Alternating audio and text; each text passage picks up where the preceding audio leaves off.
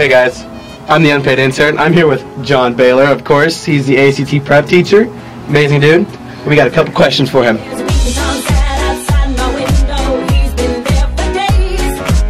First question, what do you like about your job? Almost all of it.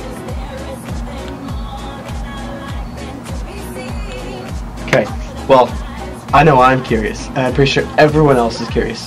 We'd like to know what your ACT score was. Uh, I scored about 31 and a half. So I'm not a genius.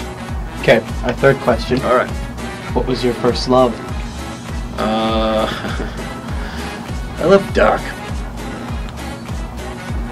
All right, John, you got any last words of wisdom for us? Stay away from starch. Stay away from sugar. Sugar's in every every boxed food item is just packed with sugar. So stay away from the middle of the grocery store.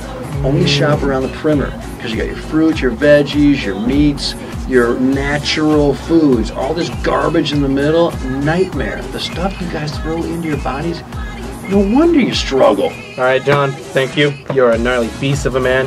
Very good that you came out here today. Enjoy the rest of your day. Enough speeches.